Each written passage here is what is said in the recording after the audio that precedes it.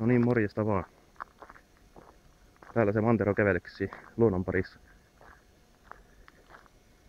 Joo. Se olisi juhannusatto huomenna. Ja juhannusjuomat on tietenkin hankittu. Hyvissä ajoin. Löytyy karilloa, karpaletti, vodkaa, kaljaa, lonkeroa. Ja löytyypä valkoviinikin. Mutta siitä minä en tee mitään arvostelua. Että... Tai kyllä minä varmaan arvostelun teen, mutta en videoarvostelun. Joo.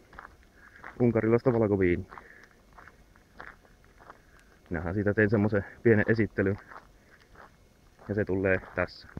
Joo, eli tämmöistä valkoviiniä ostin juhannukseksi. Unkarilaista ja maksoi 7,30.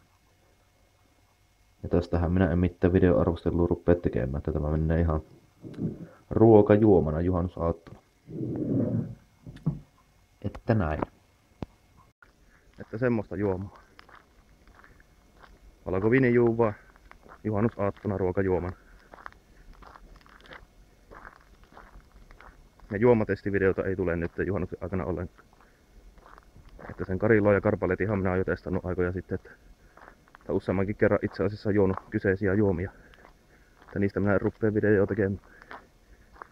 Mutta sen verran voin sanoa, että Karillo 6 10 ja Karpalet sanotaanko 6-7 10.